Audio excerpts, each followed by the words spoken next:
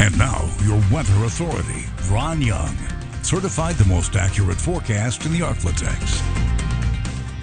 Welcome back, everybody. I'm going to be very honest with you right up top. Uh, there have been some changes for good, for the worse, and back to good with our expected event that's going to be cropping up by late Tuesday night through your Wednesday. And right now, we're on the lesser bad side than we are, hey, this is going to happen. Anyway, I'll show you in just a minute what we are looking at. But right now, your Texarkana New Holland Skycam looking right down in Texarkana at Kennedy Lane and Summerhill Road. And blue sky all the way around it should be a fantastic sunset across the area.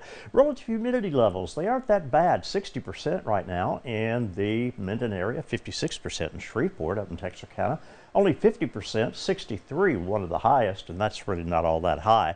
That is in Magnolia, Arkansas. However, we're going to see multiple facets of things concerned in our heavy rain event coming together over the next 24 hours. So we'll talk about that in just a minute. As far as the wind speeds, way less than 10 miles an hour.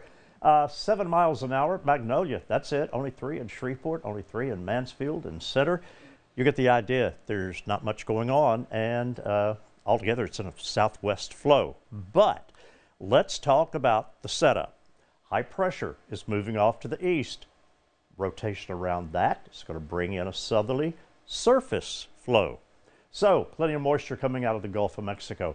Uh, a couple of disturbances moving in, but as we get into tomorrow and into Tuesday, we're going to see a system, upper level system, pretty powerful now, uh, developing in the desert southwest and northwest Mexico, and it will head our way. But it will pump in some upper level moisture from the Pacific Ocean, as well as helping get some moisture out of the Gulf of Mexico.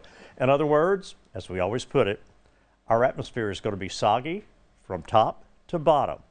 And with just a cold front coming through, oh yeah, there's one of those too, and there's a low level jet and all that coming together. So let's go ahead and take a look at what is going on. As we go to Monday, 7 a.m., we may see a few clouds develop, and there may be, watch out tomorrow morning, for some patchy fog to be developing as well. But 11 a.m., we're starting to see the winds increase out of the south southwest, while to the east, a south southeasterly flow as well.